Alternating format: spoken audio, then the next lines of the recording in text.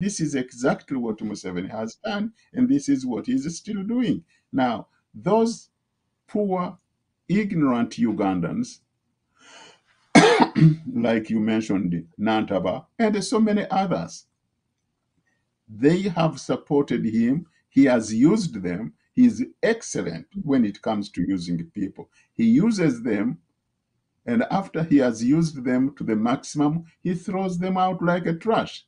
He has used so many. I, I think we brought it up in one of our conversations before that actually most of the women, if not all the women, Museveni has put in positions of power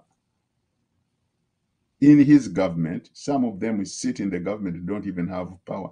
They have to pass an interview in his bedroom. And you know what that means. So without that, he, he doesn't, you know, after he has done the interview in the bedroom, gives them a position, whether ambassador or minister or whatever, after he has used them to the maximum, damaged their reputation where they came from, he dumps them. Hmm. And then he picks another one. And it is amazing or surprising that people still flock to him. I don't understand why. After having seen what he has done with them, with the other people he has used, including men. Look at this man who was vice uh, vice president, Professor.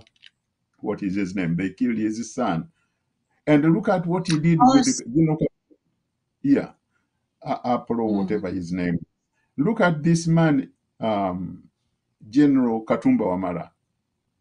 Yeah. They, unfortunately, the bullets which were supposed to catch him caught his daughter in the same vehicle, and that wom- that little girl just died where- there in the presence of her father, and the man is still blind, kissing the behind of Museveni Mm. for peanuts. This is the tragedy of human stupidity, which I talked about some time ago. When people are Yeah. stupid, they are going to be used and they are going to be trashed like any, anybody else.